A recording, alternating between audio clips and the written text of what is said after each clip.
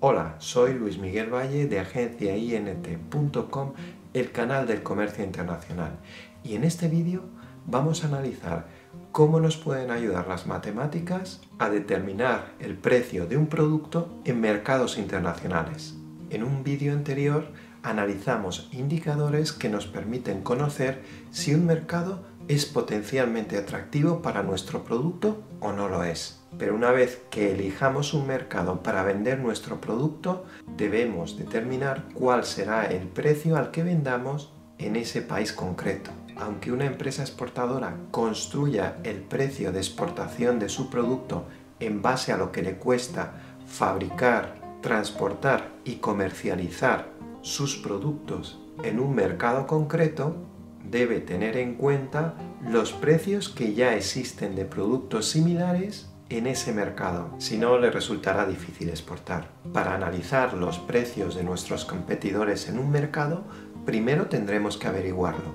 ¿Cómo lo hacemos? Tendremos que investigar en páginas web de distribuidores, tiendas, supermercados, u otros lugares donde se comercialice nuestro producto en ese país, a través de análisis del término en buscadores, localización de puntos de venta a través de Google Maps, análisis de expositores en ferias sectoriales, listado de traders, mayoristas, distribuidores que puedan existir en la red, etc. Una vez que tengamos localizados los puntos de venta de nuestro producto en un país o zona concreta del mismo, deberemos averiguar los precios a los que comercializan productos similares al nuestro, bien revisando su tienda online, folletos en PDF, listas de precios o incluso webs de comparación de precios si el producto es un bien de consumo.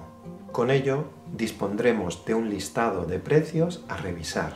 Para ello necesitaremos una herramienta que nos permita relacionar todos los precios entre sí y ahí es donde entran las matemáticas estadísticas, principalmente medidas de tendencia central, que pueden resumir en un solo valor un listado de diferentes precios.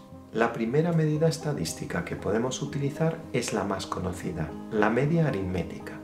Consiste en sumar todos los precios entre sí y dividirlo entre el número de precios que hemos analizado. La media aritmética es útil cuando disponemos de una gran cantidad de precios y estos no varían mucho entre sí. La segunda medida que podemos utilizar es la moda aritmética. La moda es simplemente el valor que más se repite entre el número de precios que tenemos disponibles.